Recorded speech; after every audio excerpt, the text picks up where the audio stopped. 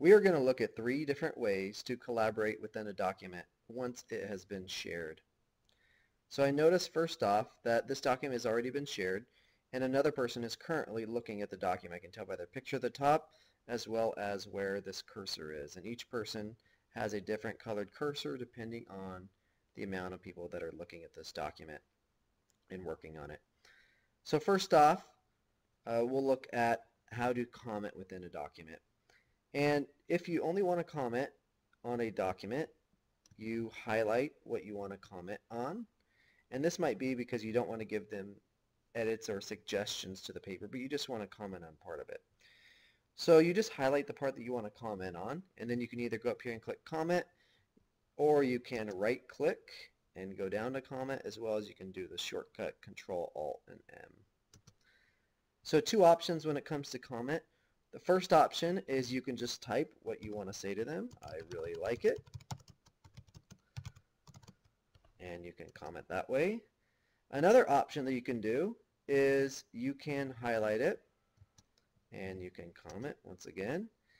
But this time I am going to go ahead and I'm going to put in their email address with a plus symbol. And what that does is imagine if I'm working on this document with somebody else and they're not currently looking at this document. So if they weren't looking at this document, this comment that I wrote down below here would not show up to them right away. They would have to actually open up the document and then see that I commented on. Up above, if I put the plus symbol and then their email address, what this does is this notifies them that I've commented. So it'll send an email with the comment that I put. So in this case, I can write, I really like what you have. And now when I comment here, this is going to send an email to them and it's also going to say, I really like what you have. So do two different ways to comment here. On the other end, the other person can be seeing what exactly, so now I've switched to the other person and just by looking, going through a different Google account.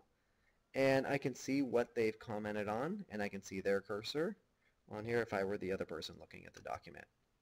So now we'll go back to um, what I was working on earlier. So now the first way is the comment. The other way to collaborate within a document is to actually edit the document. So in this case, the words that I type will show up on this document. If, if we are working on the, a research project together or um, if I just wanted to answer the question, I could type it here. So I, I really like it. And now the only way that the, the person would be able to tell if I wrote something on this page or not is to see that it's different or to maybe see my cursor here.